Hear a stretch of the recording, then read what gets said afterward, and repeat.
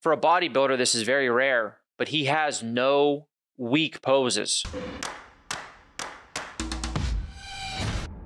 What's up guys and welcome. You are watching Fazi Fitness. Let's start this video with Good Vito. One of the most anticipated pro debuts is about to happen in 4 weeks time at this year's Arnold Classic South America or also known as Arnold Brazil.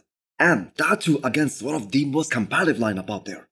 So the question is, will he live up to the expectations? And the thing is, if you are expecting him to win at his pro debut, that I have to say will be regarded as delusional. Because not only is he going up against guys like Carlos Thomas Jr., but also a guy like Rafael Brandao, who just placed top 3 in Ohio. And he got the biggest compliments from Tyler Manion. Because we wanted to see how close he truly is to that next level, that upper tier of bodybuilders. And I would say that he's definitely pretty close. Right now, you can see the difference in size and density, you know, when he was standing next to Samson. And of course, that goes for, you know, he's going to be standing next to other guys that are bigger, but he really held his own. Not only he just said that Rafael is much more closer to Samson Dauda now compared to what he was at the Olympia 2022. But he also mentioned that Rafael doesn't have one weak shot. And that is very, very rare to see in bodybuilding, especially in open bodybuilding that a guy has everything. No weak shorts, no weak body parts. Because this can't even be said about the reigning Mr. Olympia Derek Lunsford. Because some of his poses, like the front lat spread or abs they are not ideal by any means. For a bodybuilder, this is very rare, but he has no weak poses. There's not one pose that stands out that he does that you say, yeah, you know what? He's probably got to say he's going to lose that pose to somebody every pose is extremely strong, which is it just doesn't happen. So I believe Rafael is gonna bring an even better package at this year's Arnold Brazil and secure his ticket to the Olympia. And the feedback that was given to him by the judges that he needs more density in his side leg or more fullness in his chest. If he's able to do that, he is legit gonna be a Mr. Olympia title contender in a couple of years. A little bit more fullness to the chest, a little bit more density to the back.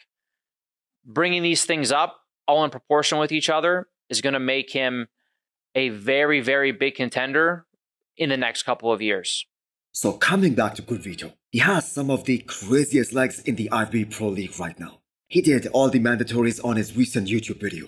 But the thing is, it is taken at such a distance and at such angle that you just cannot judge at this point, especially the extent of his improvements in his back shots. Because that has been the biggest knock on his physique so far.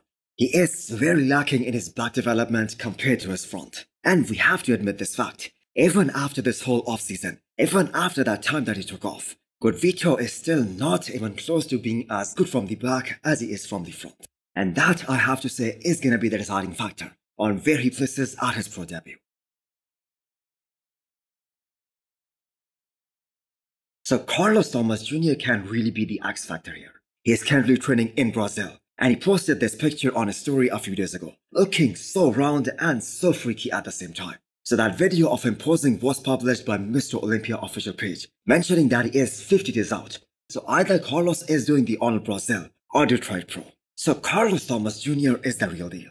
We saw him against the likes of Andrew Jacked and Hunter Labrada last year at Texas Pro. He wasn't as shredded as either of those guys, but you just cannot deny the sheer mass and the structure and the proportions that this guy has.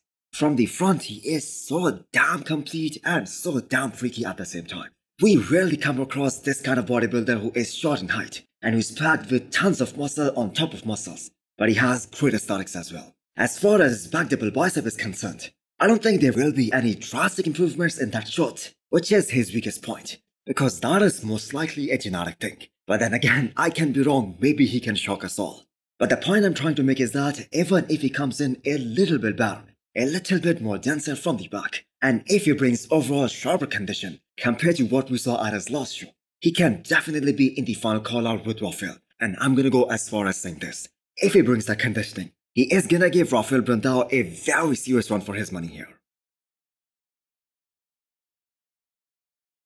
With Samson Dauda and Milos Sarcev parting ways, Behrouz Tabani is the next big guy that Milos is gonna coach. Now, as great as Behrouz is, and he has proved himself for two years now by qualifying for Mr. Olympia, his visa issues are yet to be solved, and this is the latest word from Milos Sarcev himself regarding that process. So Behrouz is looking insanely big right now.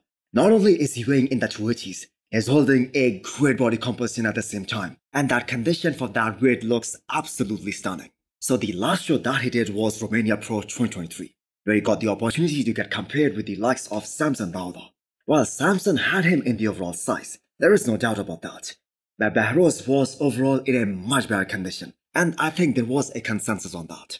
So Dubai Pro is coming up in July, and that is going to be the show that is most suited for Behrouz Tabani. He had a pretty good break after his last show, a very productive off season. So we expect to see a much better Behrouz than ever he steps on stage in 2024. So that being said, Milos is kind of in a tricky spot right now. The biggest name that he had at the Olympia was Samson Dauda, and Samson walked away from him. And a miracle needs to happen in order for Behrouz to get into the US. A miracle that we are all hoping is gonna happen. Because Behrouz has been qualified for the Olympia in the last two years. So let's just hope that he gets to the US and gets a chance to compete with the best of the best. So hit the thumbs up button if you liked the video and smash the subscribe button if you wanna come back for more. Thanks for watching.